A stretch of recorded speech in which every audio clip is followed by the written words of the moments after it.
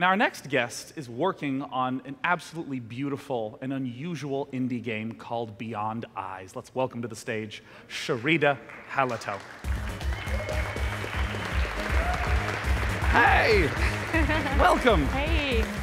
Thrilled to finally get the chance to meet you. Please Yes. come join me.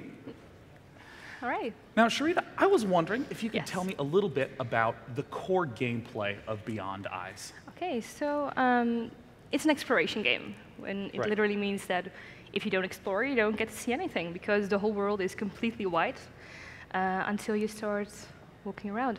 So because she's blind, she kind of uses her other senses to visualize the world. So if she smells things or if she hears certain sounds, she will just um, visualize them as she perceives them at that moment.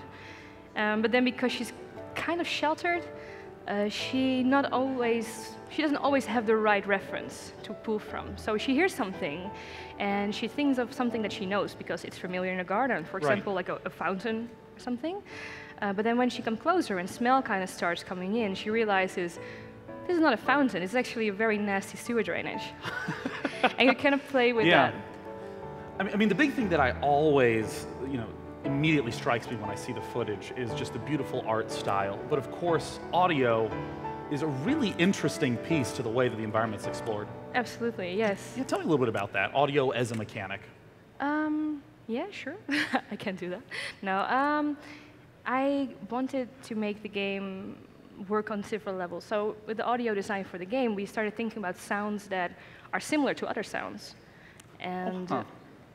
kind of identify what um, something can be.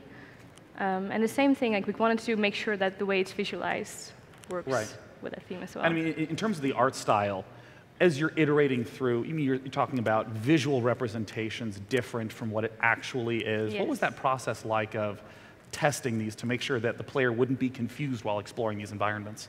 So originally, when I started making this game, I was in college. So we would basically, um, I started working on it with a friend, and we would have this basket of cupcakes, and like say to other people, other classmates of us, who were also testing, like, can you come in? You get a free cupcake.